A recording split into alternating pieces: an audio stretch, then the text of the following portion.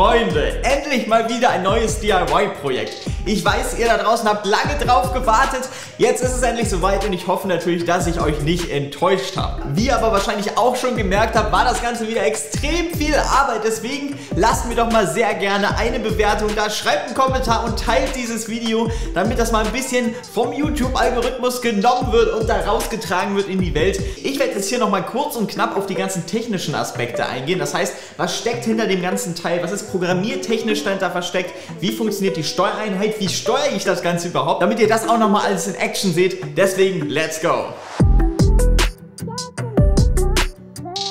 Hier haben wir jetzt die Steuereinheit. Jeder der viereckigen Knöpfe, insgesamt 45 Stück, stellt ein Element oben an der Decke dar. Wenn einer der Knöpfe hier leuchtet, wie es gerade alle tun, bedeutet das, dass gerade alle Elemente aktiv sind und auf einen neuen Befehl warten. Die Befehle bestehen dabei einmal in An und Aus, das machen wir hier oben über den großen, das heißt einmal drücken, schaltet das gesamte Licht aus, nochmal drücken, schaltet wieder alles ein.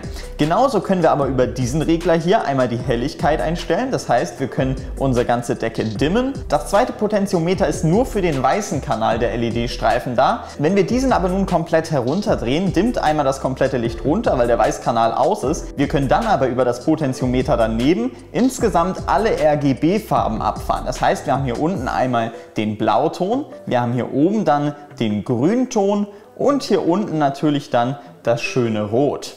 Daneben haben wir dann noch einen Rotary Encoder und wenn wir diesen bewegen, können wir verschiedene Effekte einstellen. Wenn ich einen Effekt habe und jetzt aber sage, nee, ich will wieder eine starre Farbe haben, dann brauche ich nicht den Regler komplett zurückdrehen, sondern kann hier einmal raufdrücken und dann kommen wir wieder zu einer statischen Farbe zurück.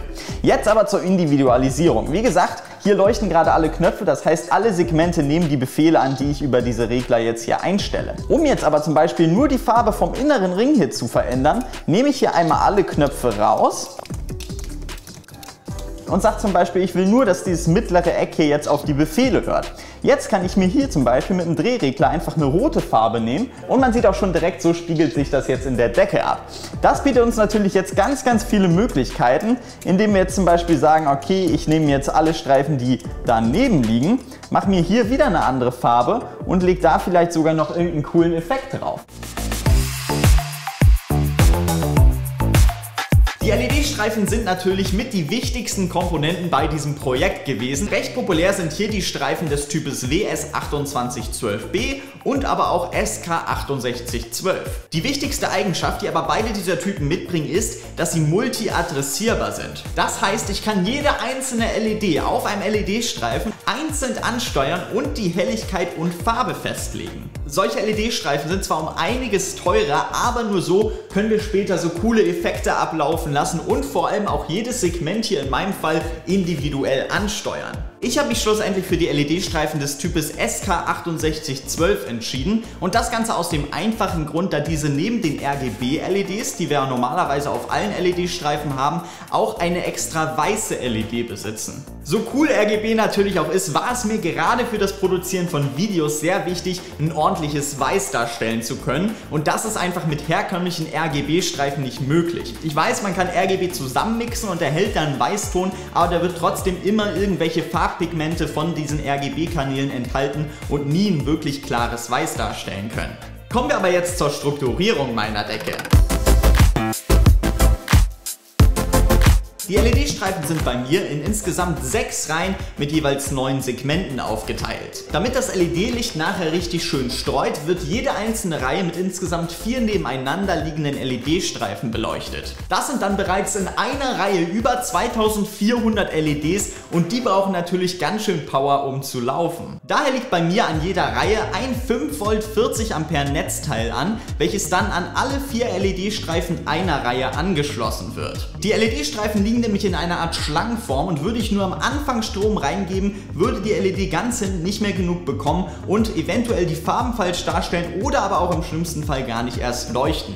Jede der sechs nebeneinander liegenden Reihen besitzt außerdem einen eigenen Mikrocontroller und zwar ein ESP32. Dieser kann einfach über die 5 Volt der LED-Streifen mit Strom versorgt werden und wird gleichzeitig natürlich auch an den Datenpin der LED-Streifen gehängt. Der ESP32 ist mit dem WLAN verbunden und die Steuerung der LED-Streifen übernimmt eine Software namens WLED. Mit WLED und der dazugehörigen API sowie auch Webbrowser UI und Smartphone-App kann man dann die LED-Streifen steuern, Effekte abspielen und so so weiter. Da sich diese Effekte und Farbänderungen von WLED aber natürlich immer über eine komplette Reihe, das heißt meine insgesamt neun Segmente erstreckt hätte, war das Ganze für mich nicht praktikabel, weil ich es ja individuell für jedes Segment haben wollte und deswegen musste ich noch ein bisschen selber Hand anlegen.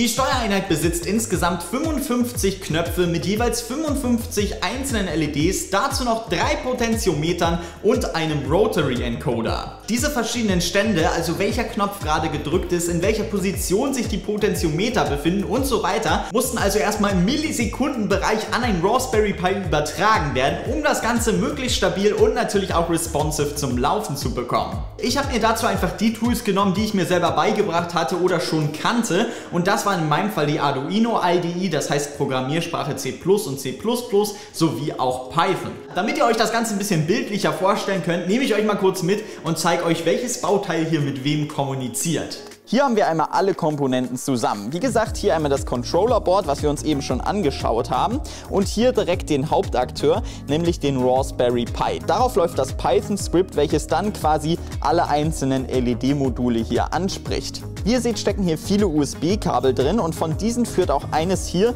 zu dem Arduino Mega. Der Arduino Mega ist hier mit ganz, ganz vielen Kontakten, nämlich mit allen 55 der gesamten Knöpfe verbunden und schickt per USB seinen seriellen Output in den Raspberry Pi, der diese Werte dann ausliest und die entsprechenden Farben dann an die LED-Streifen weiterleitet. Ich weiß, das Ganze mag jetzt immer noch recht kompliziert klingen, aber glaubt mir, das ist eigentlich, wenn man sich ein bisschen in der Materie auskennt, recht überschaubar.